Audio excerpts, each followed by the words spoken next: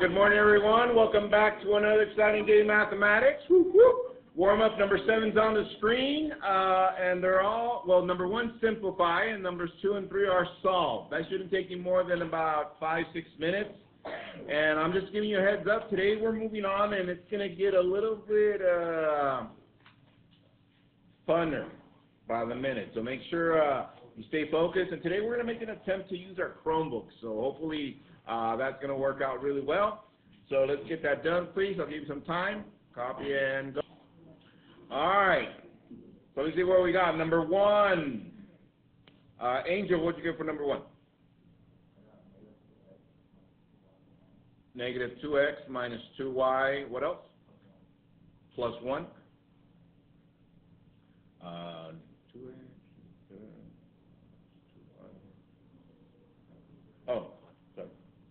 Go. Uh, hands, have you got something like that in any order for right now? In any order? Yeah. All right. Uh, number two. What you get for number two? Double check with your neighbor just to make sure that you got something because I'm going to call you right now. Number two. What you get for number two?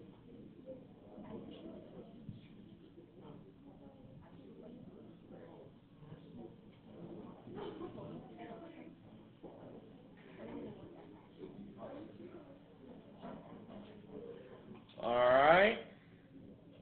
Let's see. How about um, William? Negative 13. Hands have you got that? That is incorrect. Who, who got x equals negative 13? What? The other one was an expression, wasn't it?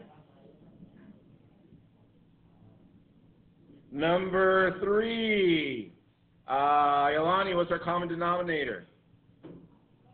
Twi oh, 24. All right, 24. We distribute. That is negative 24 over 3x plus 48 over 4 greater than or, oh, that's a greater than 96 over 24. If I simplify, this is negative 8x plus 12 greater than 4. Continue, Madison, go. Subtract 12 from both sides, we end up with negative 8x uh, greater than negative 8. Hands have you got up to right there? Okay, good. Uh, how about uh, Elijah? Continue. Negative 8 to both sides. And what do we get at the end?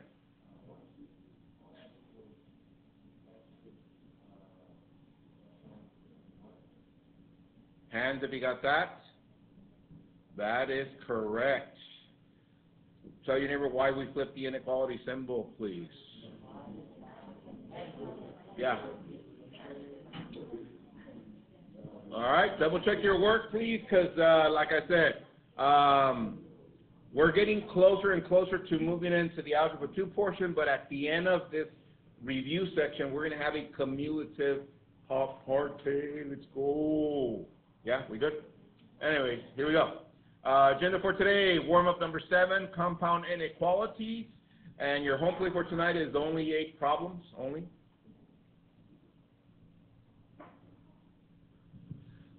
All right.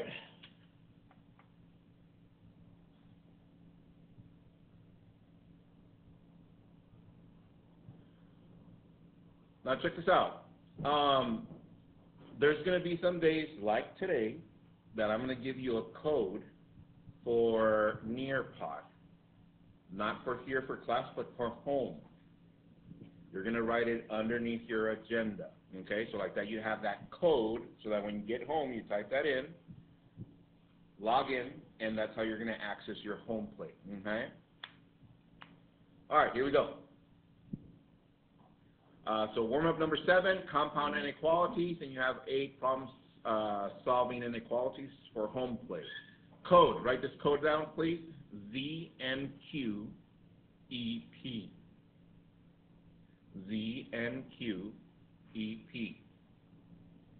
ZNQEP. So now check this out. When you're at home, you get home, you're like, oh, I'm going to do my home plate. All right? So then you get your Chromebook, log into nearpod.com. Then you're going to type in that code when it, where it says to uh, access lesson or access or join session. And then to write your name, I want you to start off with your period number and then your name. So you're going to write the number two first and then your full name. Now let me tell you why. I have close to 170 students, so when I get the reports from Nearpod, like that I know I go by period, and it shows me with that first number at the front, okay? So once again, two and then your number. Got it? Yes, Mr. Q. All right. Your home plate from last night was only four problems. Hold on to that. Okay? Some of you are like, oh, yes. Well, no, because we're going to turn it in a little bit. Uh, tonight's home plate, check this out. It's only eight problems, only. No, uh, you're going to do that at home, didn't I say? You're going to go home, type in nearpod.com, then you're going to type in the code, and then you, you forward the slides till you get to this one, and then you start working. Now, don't copy them all. Copy one, work it out, copy two, work it out, and so on and so forth. Okay? All right. So with that said, just a quick recap. We started last week with inequalities and equations. So we said equations is when it's balanced, inequality is when it's not balanced, or equations when it's balanced, when it's not balanced, meaning that they're not equal, they're inequalities. Today we're going to continue with that, okay? Also, um, we started with our session with I can solve one variable equation inequality, so turn your paper and I want you to get a Cornell note ready, please. Uh, copy the objector at the bottom left.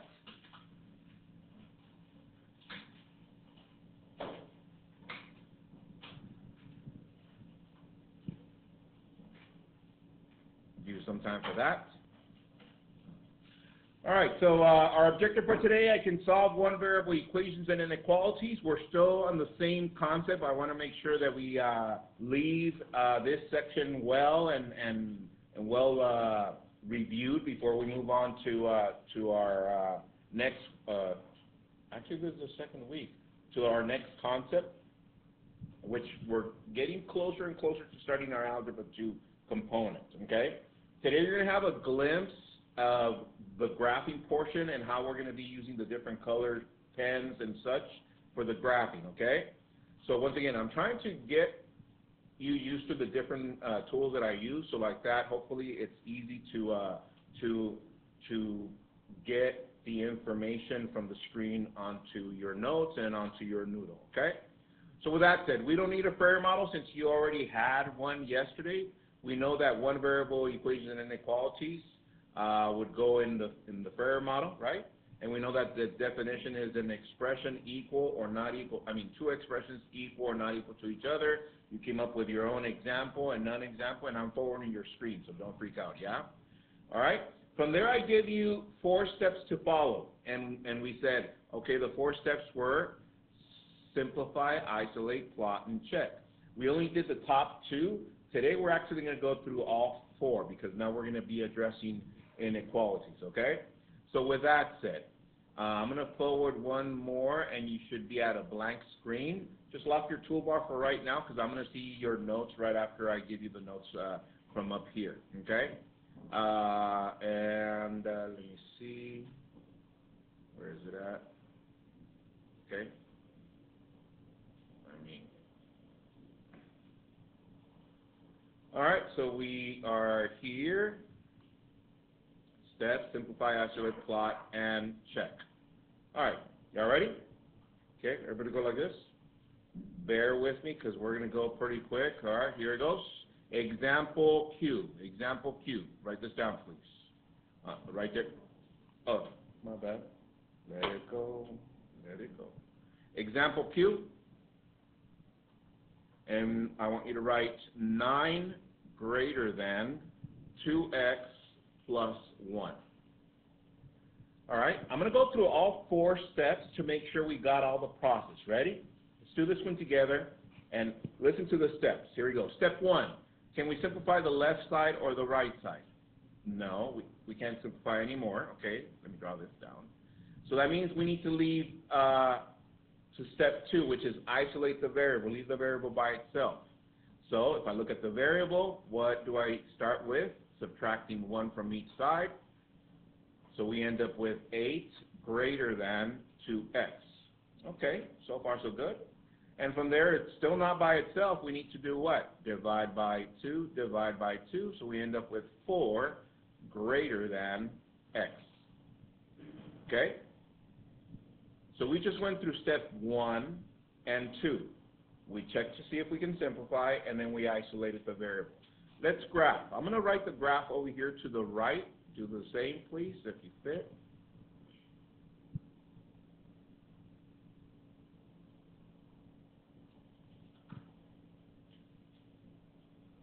All right. So for inequalities, I'm going to do a review right now for the graphing. So your utensils down, look up to the screen. Hopefully this will help for some of you that got confused with the graphing portion. Okay, here it goes. To graph an inequality, I start with a number line. Your utensils down, look up to the screen, please. Thank you. And the, the solution that I came up with, that number is what I call DP, or also known as the dividing point. What is it called? Dividing point. Why is that called dividing point, Mr. Q? Because from that point on the number line, I'm going to have two sections, solutions to the inequality, or the other section that are not solutions. All right, so how do I know which way to shade, Mr. Q? Well, I need to check for sure so that I know for sure which is the solution. So watch.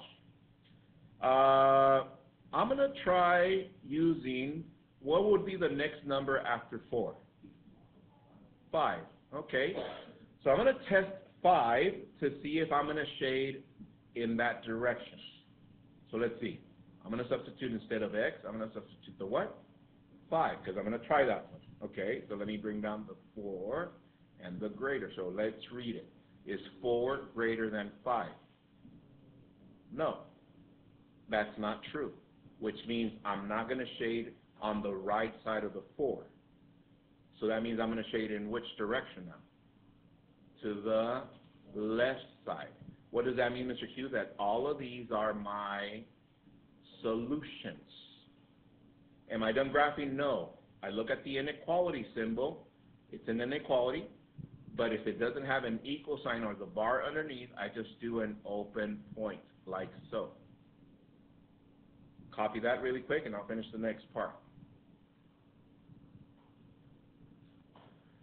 All right, so let's make sure that we are correct. How do we do that? I'm going to check.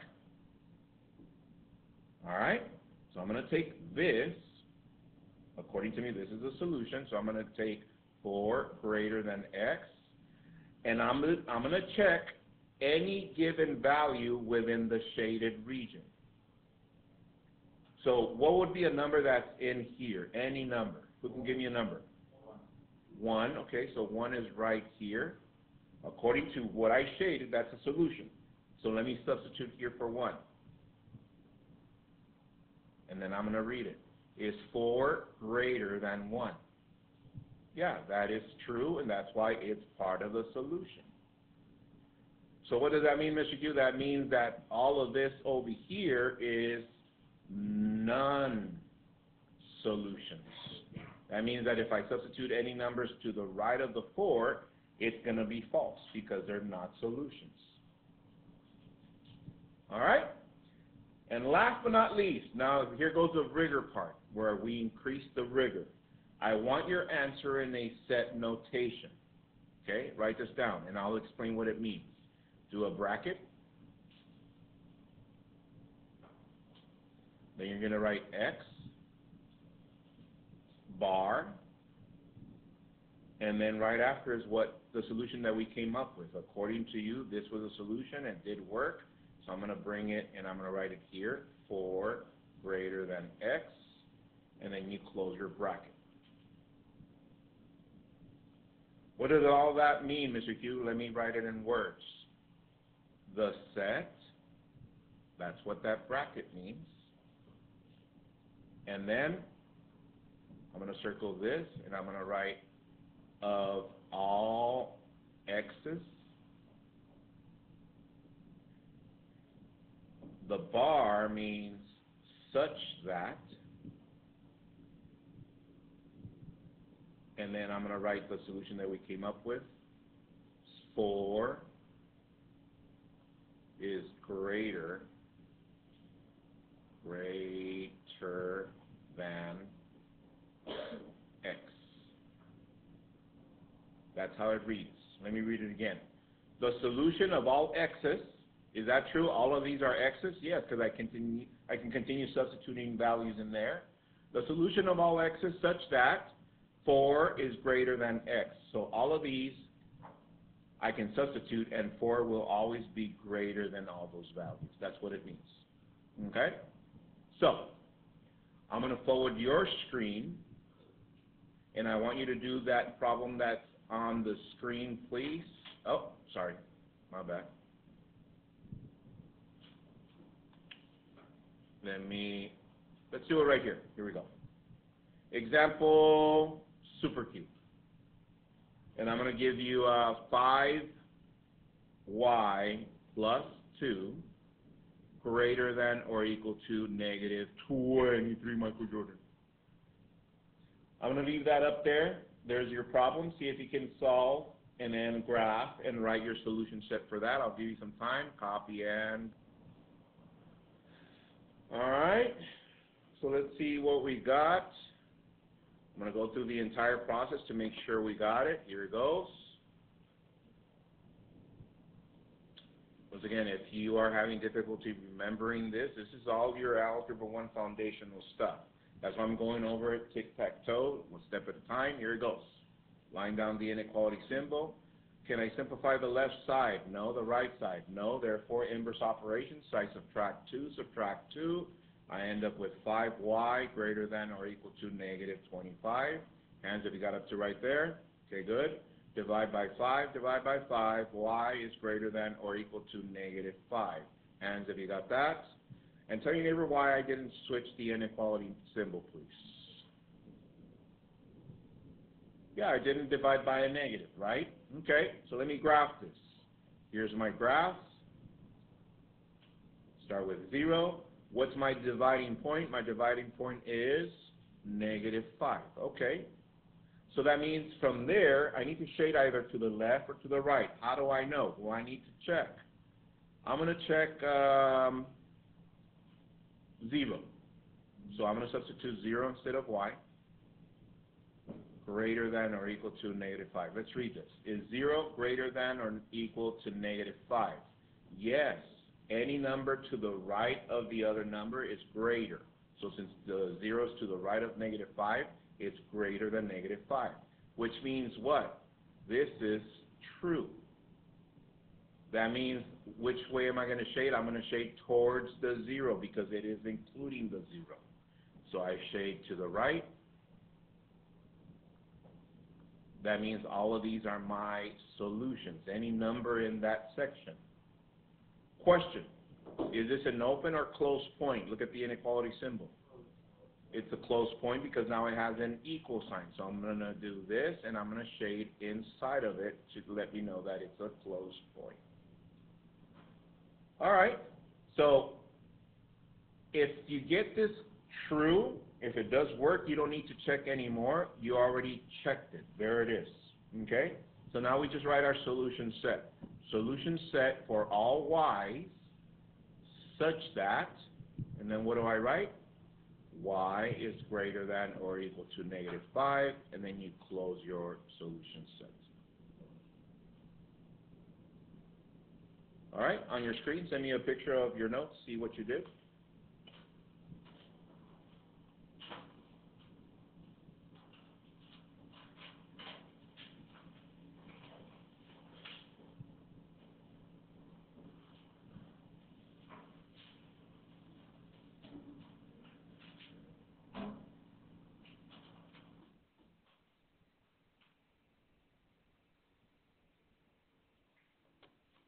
Ten, nine, eight, seven, six, five,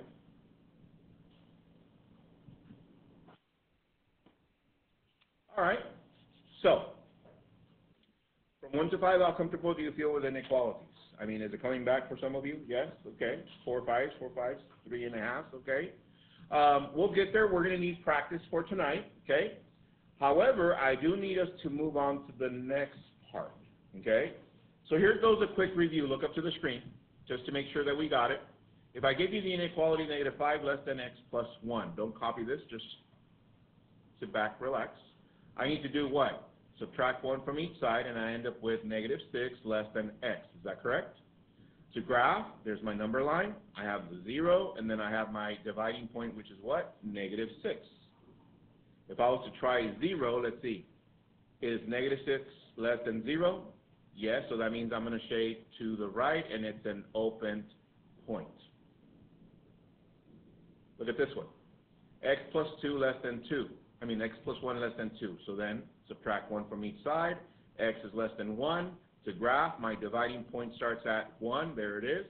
It's an open point. And if I substitute 0 in here, is 0 less than 1? Yes, that means I'm going to shade towards the 0. Everybody there so far? And the projector is ready. All right. All right, so pay attention to this part, please.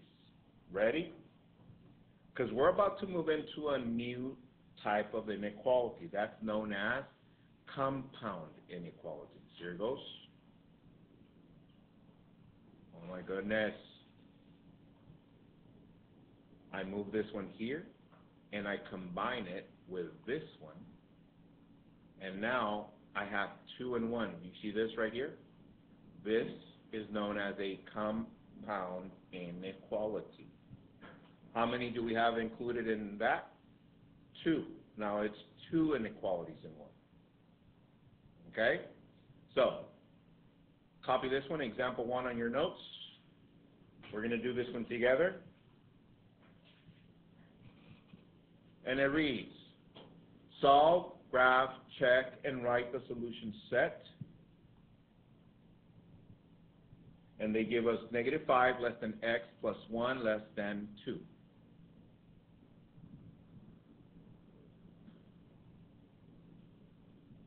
All right, here we go. Line down the inequality symbol. But we have two, Mr. Then two lines down. There it is. Here we go. Question. Can we simplify the left side? The middle? The right side? No. What's next? isolate the variable. So we need to leave the variable by itself. So what do we do? Subtract 1, but we do that to all sides. Subtract 1, subtract 1. So this is negative 6 less than x less than 1. You're like, what? That's cool, right? All right, let's graph this. Underneath that,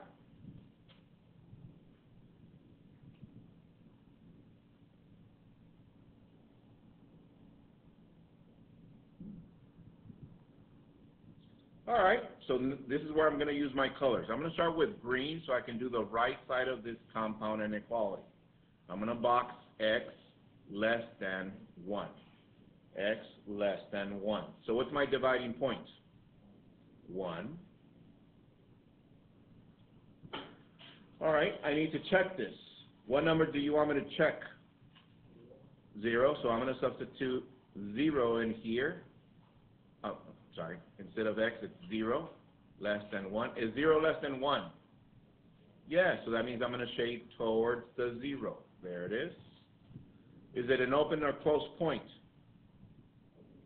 Open, because it doesn't have a little bar underneath, the equal sign, okay? I'm done with that part. I'm going to switch to red, and I'm going to do the right side of the compound, this one. What's my dividing point? Negative 6. Can I check 0 as well? Yeah, so let me substitute 0 for x less than negative 6. Let's see. Is negative, negative 6 less than 0? Yeah, because it's on the left side of that number, so that means I'm going to shade towards the 0. Is it an open or closed point? Open, yes, open point. And I'm done with the graphing. Let's write our solution set. Underneath that, solution set of x such that, write the first dividing point, which is negative 6. Then you're going to write x, then the other dividing point, close a bracket, arrows always to the left.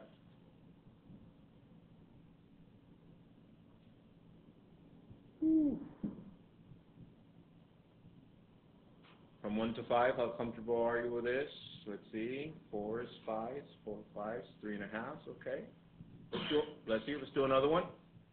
On your screen, you have another inequality on your screen your, on your Chromebook. Example 2, negative 9 less than x minus 10 less than negative 5. Do that one by yourself. I'll leave this one up here really quick. See if you can do that in about 45 seconds.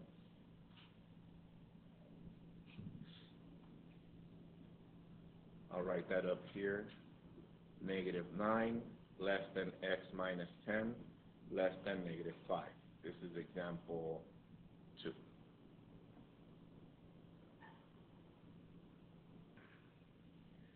Uh, get us started, please. Andrew Pruitt, what do I do? Uh, get rid of the 10, so I add 10 to all sides. So we get 1 less than x less than 5. Hands if you got that? That is correct. Let's graph this. So I'm going to do the graph.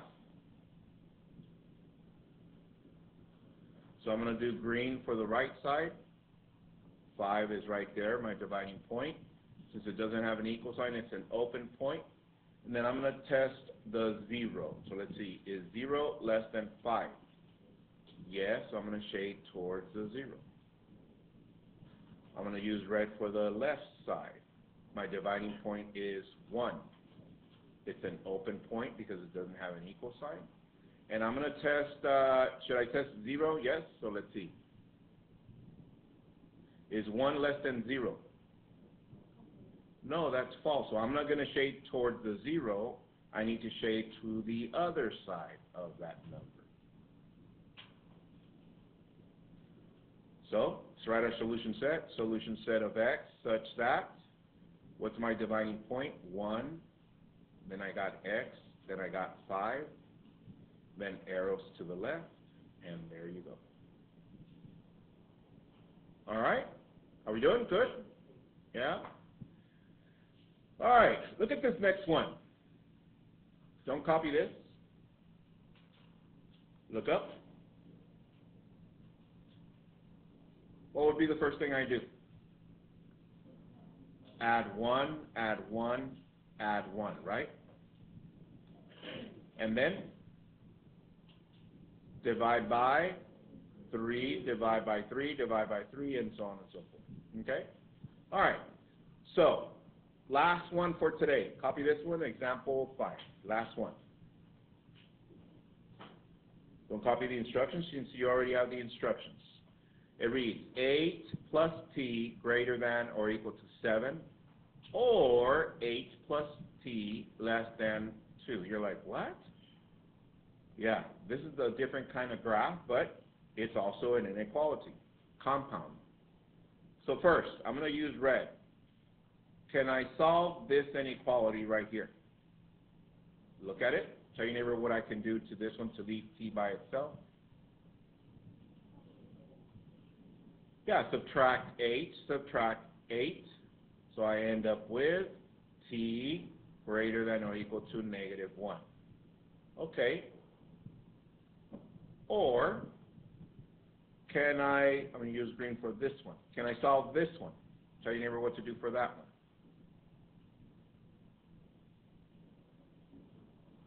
Yeah, minus 8 minus 8. So we end up with t less than negative 6.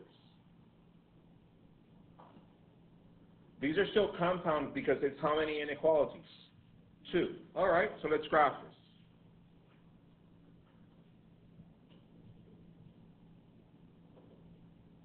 All right, I'm going to start with the green one. Negative 6 is right here. Uh, it's an open point because it doesn't have the equal sign, yes. I'm gonna test zero. Is zero less than negative six? No, so that means I'm not gonna shade towards zero, I'm gonna shade in the opposite direction. Dividing point for this one is negative one. Is it a solid or open point? Solid, okay. I'm gonna test zero. Is zero greater than or equal to negative one? Yes, so I'm gonna shade towards zero. And what do you guys notice? That there's an, a gap in between. They're not intersecting. That's why these are called what? Or, and they're compound. Yes? All right, let's see how you do with the home plate, guys. Enjoy your home plate. See you guys tomorrow. Bye. Video will be uploaded at the end of the day.